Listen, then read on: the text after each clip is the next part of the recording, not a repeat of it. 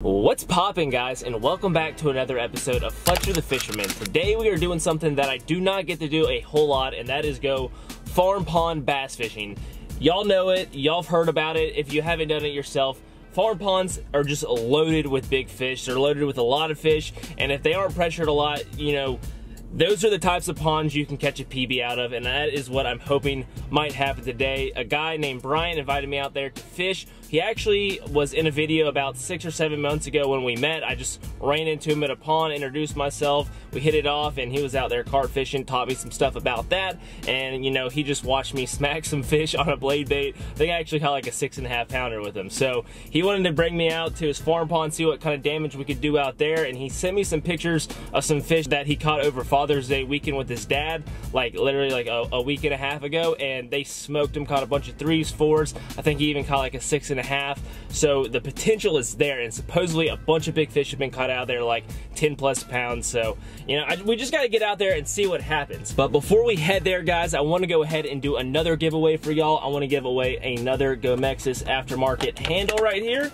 And this is the new A27 handle color black colorful. There's also another new color called smoke silver. But besides that, guys, if you've never checked these out, I highly recommend you do so. There will be a link to their website down in the description below, and you can also use code FTF at checkout to get 10% off on all the handles. But far as just as a functional standpoint goes, these provide a lot of cool features that just typical stock handles don't have. Far as the knobs themselves go, they're made from a TPE material, which is stronger than most metals, and that is just allows for an awesome grip both in just hot and cold environments, wet or dry. No matter the conditions, you're gonna have awesome grip on your handles. The shaft itself is also extra thick, which allows for maximum cranking power. And then the knobs themselves have a high-speed Japanese bearing in them, which allows for you to get as fast as possible grip when you actually start to crank. So as you can tell, this little handle has all kinds of features, and I highly, highly recommend them. And they also have some other cool handles as well, and I've been using all of them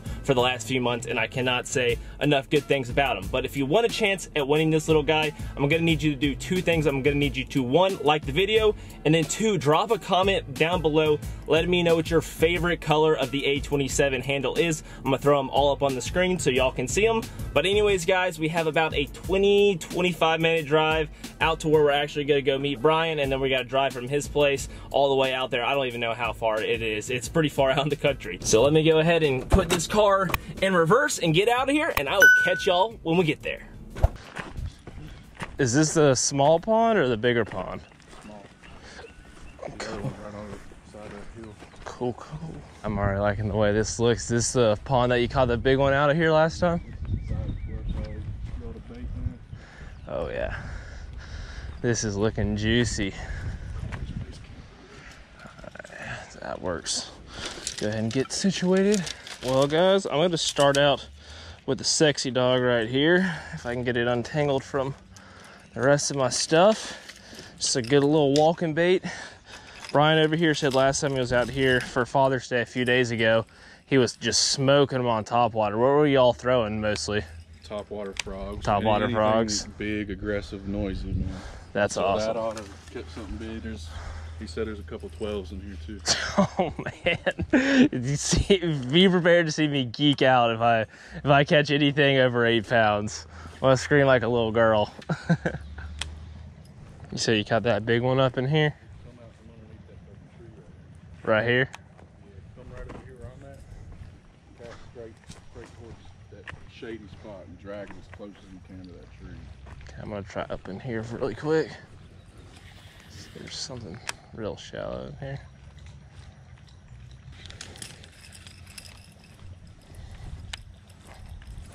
Oh,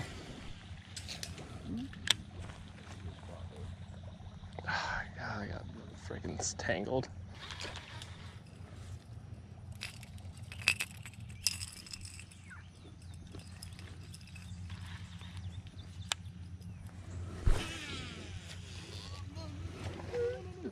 What'd you do? Did you just fall in? I heard splash. I thought you hooked one, and I turned around and you're in the pond. I'm gonna walk around this way a little bit. Let's see if I can get across this little dam right here. without much trouble. Well, this is a trickier spot. There we go. Not too bad. Kind of want to get over here. There's like a big shade line. I think that might be one of my better options for this top water right now. It's a little early for it. You know, it's probably about, I don't know, three or four o'clock. So I think it'll definitely pick up once that sun really starts to come down later in the day. But we're gonna try these little shady spots while we're at it. I really want to catch something big on top water. That would be just awesome. Oh, what a cast.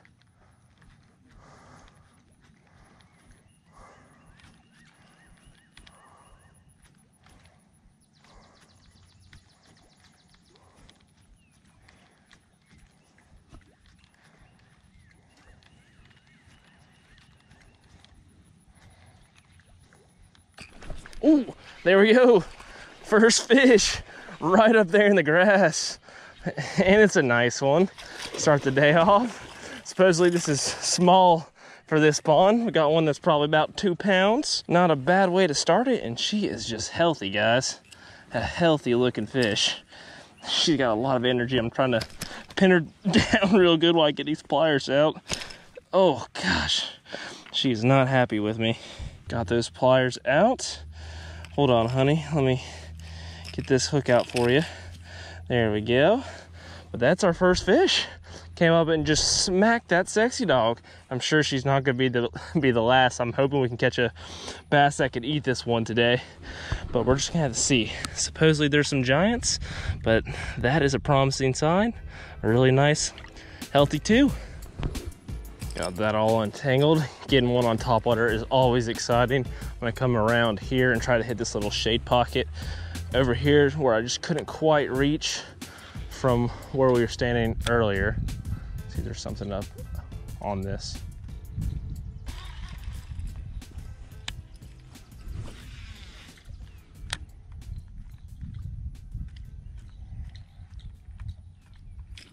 Oh God, I just got smacked. Absolutely smacked right there. Just pulverized that thing out of the water. They're hitting it hard. They're hitting it real hard. Let's try to get back in there, see if it'll eat again. No luck with that. I'm gonna come back over here, try this shade some more.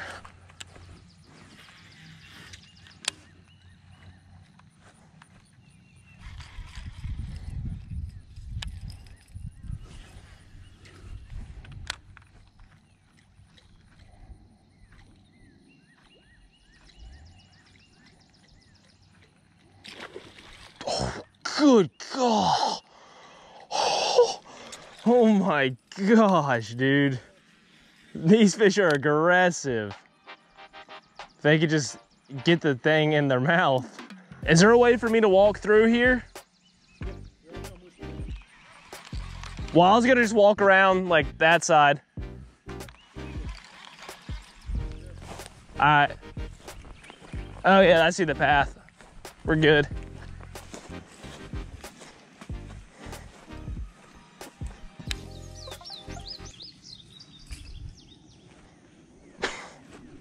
Well, not really sure what happened there, but somehow my knot came untied and I just flung my my bait somewhere into that tree. oh, love that. Just gotta love it. splendid. I guess it's better do that than on a fish. Made it back, but instead of tying on another walking bait, I'm actually gonna pick up this wake bait for a second and also this lipless, and we're gonna kind of work our way around the pond with these two. I want to give this wake bait a shot. I don't think I've actually fished with one of these on the channel at all. This is not something I typically throw, but it's something I've been wanting to try a little bit more. It just looks like a, you know, a regular crankbait, but that bill's like really steep. So this thing just runs right at the surface and wobbles back and forth like a crankbait, but just right on top of the water. So I want to see if I can get something going with this thing. I don't know if they'll eat this or not.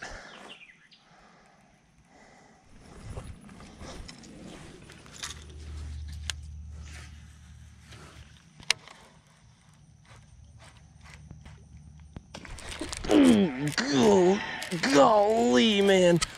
clobber that. I can't tell how big this fish is, but he looks like he's got some decent size. Oh my God, that was an aggressive blow up. He was pissed. He was pissed. Another healthy fish, guys. A little bit better than that last one, it looks like. Oh, that came right off. But I'd say somewhere in that, you know, mid two pound range. These fish just hit so dang hard in here. Like, oh my gosh. Wow. Now, if I can just get a bite like that from a freaking mega, we're gonna be having a good day. Off she goes. Yeah. Like a more low profile, you know, fish might be tackle size. Mm-hmm.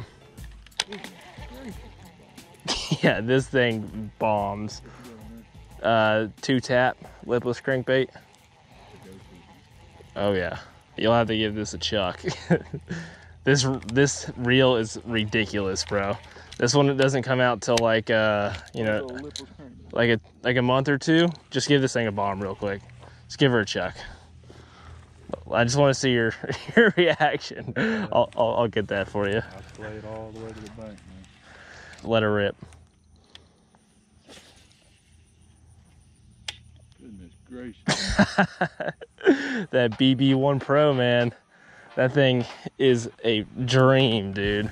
When it comes out and I can get my hands on one, I'll get you one. what, what do you got on there? What'd you say? What test you got on there? This is 12. fluoro. Yeah, 12 fluoro. That's usually what I use for cranking.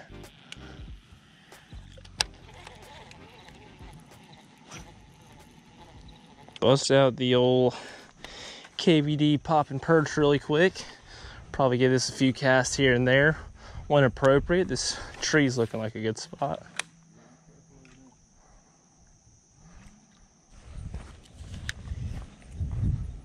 Just try between these two bushes right here aerial attack.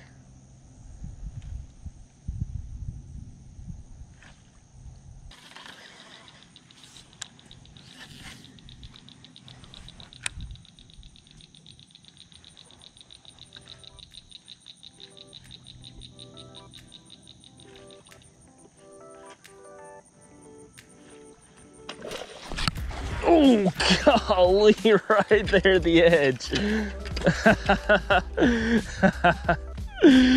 Just destroyed that frog, man. Right up there on the edge. That's crazy. I could see, you know, the bottom a little bit right there, but I had no idea that fish was chilling like that. And look how he ate it, all the way in the back. That is how you want it. Not bad for an average sized bass, about two and a half. Let me go ahead and put her back in. Put her right back where she came from. Later.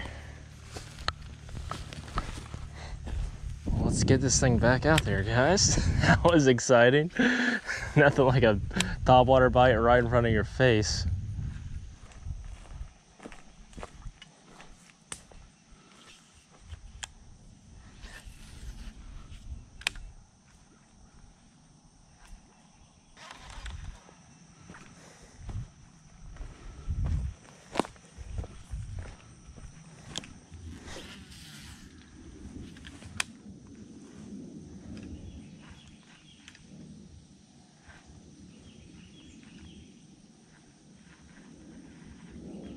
You ever had something eat it while it snagged like that? Oh, good golly, man. Golly. Holy smokes. but yes, I have had one eat it when it's in, been in the tree. Gosh. These fish are so aggressive. He was like kind of in the between the tree, that twig and the tree over there. Yeah, that's the best one so far, easily. Man, man, that's a good fish. they're so aggressive.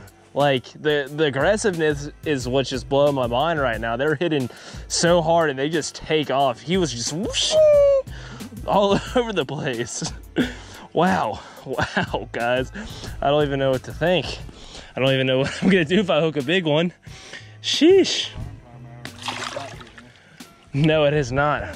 Prime time is has not hit yet. Keep it coming.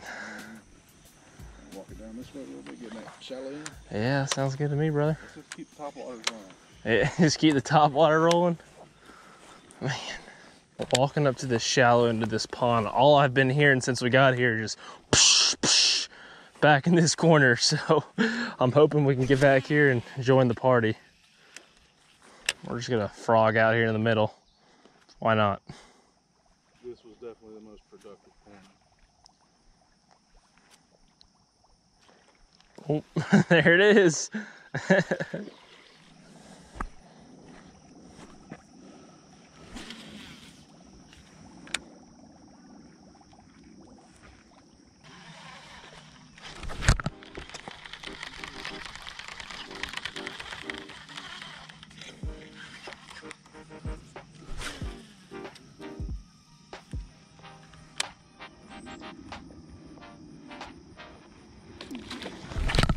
There we go. Got him. Freaking clobber that frog out there in the middle. Check that out. Chunky boy. Just crushed it, man. Came all the way out of the water. I haven't had this much fun topwater fishing in a while, man. These fish are just blowing my mind with how aggressive they are. I mean, that is not like a ginormous fish, but he just crushed that thing. Solid like two pounder. Thanks, bud. Oh, oh, one more jump.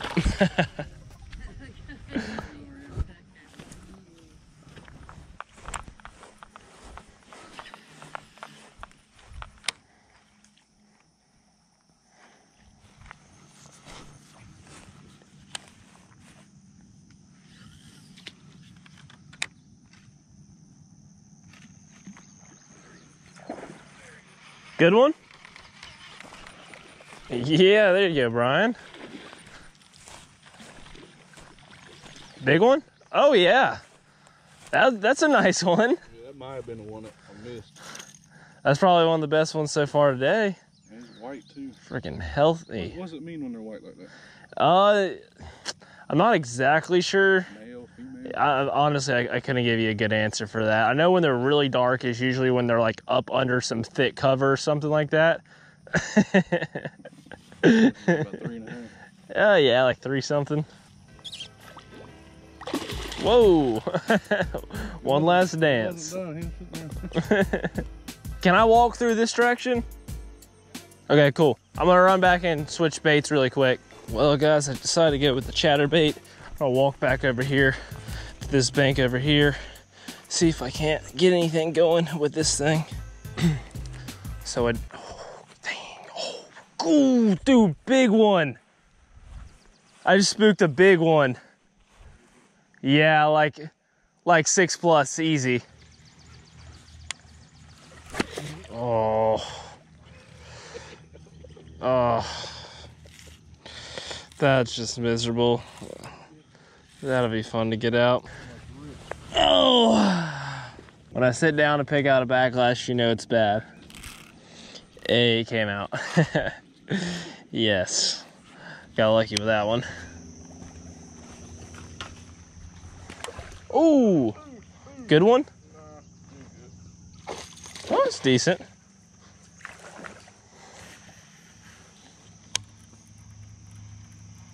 would like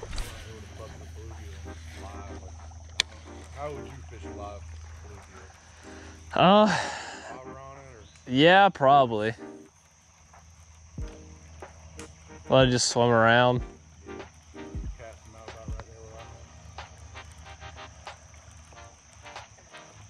at? Oh, there's one right at the bank, dude. Right at the freaking bank. On on the old Thunder Cricket, baby. I was like, what? In, I was like, what's going on here? right at my feet. Pop that out. Another nice one on the old Thunder. Shoot.